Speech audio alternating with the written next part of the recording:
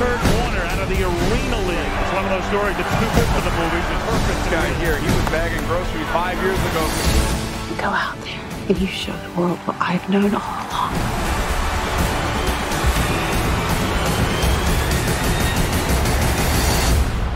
You were born for this. The opening titles play over a young Kurt Warner watching Joe Montana play on the TV. It motivates him to go outside and practice. Jump to Kurt, as a fifth-year player at the University of Northern Iowa. Kurt and his wide receiver hook up for a touchdown. He's good, but he always moves outside the pocket, something that aggravates the head coach to no end. Kurt sits in the dorm room at his desk with a big box TV, a VCR, and tapes, watching film footage and making highlight reels of his game for the upcoming draft. His teammate barges in and drags him out to the local bar. Country music blasts from the speakers, but Kurt isn't a big fan of country music.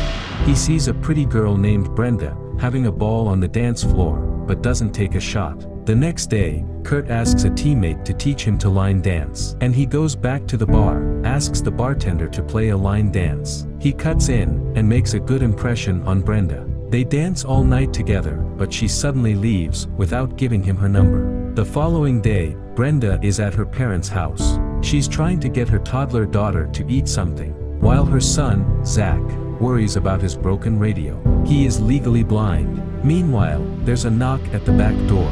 Brenda goes to check it out when she sees Kurt standing there with a single red rose. She's shocked, but doesn't answer the do, leaves to make herself presentable, while Zack answers the door and lets Kurt in. Immediately Zack is taken with Kurt. He shows him his broken radio, and Kurt mentions it might need a new battery. Zach leads Kurt to the bathroom, opens the top drawer, and shows him new batteries. Kurt switches out the batteries, and the radio starts playing country music. He and Zach begin to hang out and listen to the radio, while Brenda's mom watches, then eventually introduces herself. She's impressed with Kurt, and he invites her to his next game. And Brenda wonders why he's even interested when he's seen everything she's got on her plate. But he's very interested, so much so that when she asks where his car is, he tells her that he walked from the university, which is three miles away. Then she gives him her number. During Kurt's game, the coach makes him sit on the bench, which annoys Kurt. He pleads with the coach to let him get the wide receiver for the coach, but the coach doesn't put him in the game. At practice, the coach lets him know that he must stay in the pocket in order for him to play. So Kurt stays in the pocket and gets drilled again and again. He's determined to prove how bad he wants to play. In the next game, Kurt stays in the pocket and is able to drive his offense to the end zone. He pulls up to Brenda's house in his used pickup truck and wants to take her on a date. They go to the lake with the kids, sit on the tailgate and watch the sunset. She tells him about her time in the Marines, and her faith in God, and all the blessings she believes he's sending her. And she tells him that Zach's father dropped him on his head in the shower when he was four months old, but didn't tell anyone. She spent the next day in the hospital, listening to doctors tell her about how Zach was left brain damaged. Kurt assures her that he isn't going anywhere, and that he's committed to her and the kids. He brings her and Zach to his mom's house, but she's not exactly welcoming. They watch the draft, and Kurt hopes his name will be called, but knows it will be a long two days. Brenda reminds him that Zach's birthday party is tomorrow, and Kurt says he will be there. She leaves with the kids in Kurt's truck, and his mom asks him if he's ready for all that. And Kurt knows that he wants to move forward with her and the kids. At the birthday party, Brenda sees Kurt enter. She waits for him to tell her if he was drafted, but he simply shakes his head no. Zack makes him light up by giving him a piece of birthday cake. Brenda's family sits around the dinner table, and Brenda's father asks Kurt how he thinks the Chicago Bears are going to do this year. Kurt starts going into his thoughts. When he suddenly stops, her dad eyes him with a sly smile, and Kurt excitedly asks if someone from the Bears called. He says no, and Kurt shows his disappointment. But two seconds later, the father says the Packers did, and the family celebrate. Kurt gets a signing bonus of $5,000, and he uses it to buy a used and green SUV. Tells everyone it's green for the Green Bay Packers. He says goodbye to Brenda and the family, then drives to Wisconsin. At training camp, he watches Brett Favre, Mark Brunell, and former Heisman winner Ty Detmer on the field. The coach waves him in, but Kurt says he can't, because he doesn't know the playbook. Later that night, Kurt is cut. Back in Iowa, he buys groceries at Hy-Vee Market with food stamps. At the checkout, he sees that they are hiring and asks for an application.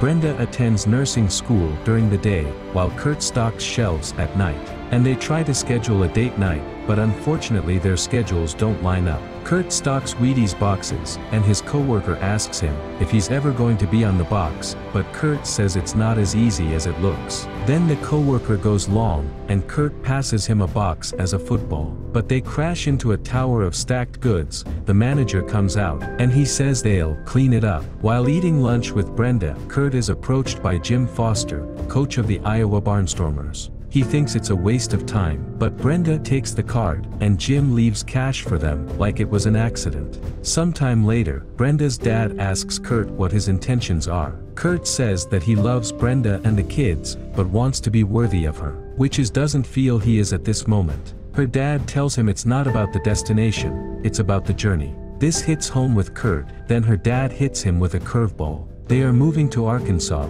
and into their dream home. Kurt and Brenda move into a tiny apartment with the kids, and can barely afford to pay for the heat. During one of the coldest nights in Iowa, Kurt takes the family and just starts driving in the truck. Out in the middle of nowhere, they run out of gas. Kurt tells them to stay in the truck, because he will run two miles back to a gas station.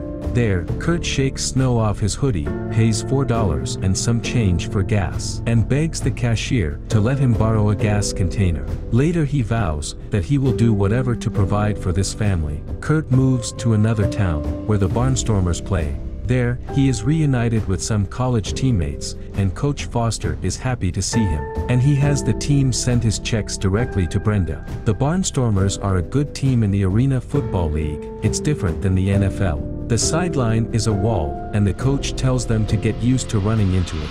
Kurt's first game takes place in the same arena as a rodeo show. It's weird to see goats on the way to the field, but the crowd for the arena game is packed. Kurt leads his team down the field and scores a touchdown. The coach gives him a $100 bill, and Kurt looks puzzled. The coach says it's in his contract that he will get a $100 for every touchdown he throws. Kurt then throws so many touchdowns, and he needs a jar to keep all his money. It's hard for Kurt and Brenda, being apart and deal with their respective responsibilities, and they barely have time to have a decent phone conversation. Brenda drives down with the kids to surprise Kurt at his next game. She sees Kurt signing autographs after the game, but can't get through without a pass. Then she realizes that Zach is missing, and Kurt hears her voice, then finally finds Zach in the hallway.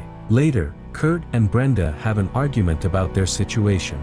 And Kurt is hurried by teammates to go to a party, but he insists he doesn't have to go, and Brenda leaves. On another day, Brenda shows up at Kurt's apartment. They talk and Brenda wants him to succeed, just not with her. And this is the last thing that Kurt wants. In the next game, Kurt throws the game-winning touchdown, but isn't excited, because it doesn't mean anything without Brenda. Then, Kurt gets a call from Brenda, and he drives to meet her in Arkansas, where a tornado just destroyed her parents' new house. She's heartbroken that her parents have passed so is Kurt. Her sister and her husband meet them, and the kids spread their parents' ashes. Brenda says that she'll forever remember this moment, and if Kurt isn't going to be here for the long haul, she wants to do it alone, but Kurt says that he'll be here. Later, the adults are sitting by a fire outside the motel. Kurt volunteers to check on the kids, he starts to cry, and Zach comforts Kurt. Soon after, Kurt and Brenda are married. Kurt leads the Barnstormers to the Arena Bowl, but they lose the championship. He's then approached by a team executive for the St. Louis Rams. It turns out they've been trying to get a hold of him for a while, but Coach Foster has been keeping them away. Kurt shows up at the Rams training facility. Head coach Dick Vermeil and offensive coordinator Mike Martz disagree on whether he is good enough. Kurt gels with the team, but Martz gets on him for messing up the snap when it was the center's fault. But Kurt's okay taking the heat. Martz calls him into the office and tries to tear him down, but Kurt shows his resilience. Eventually, Kurt makes the team as the backup quarterback. During a preseason game, the starting quarterback Trent Green gets hurt. He has torn his ACL and will not be returning this season. At a press conference, Dick Vermeil makes an emotional statement. We will rally around Kurt Warner. Brenda makes her way into the locker room and gives Kurt a last-minute pep talk. She gives him a letter from Zach, and it moves Kurt.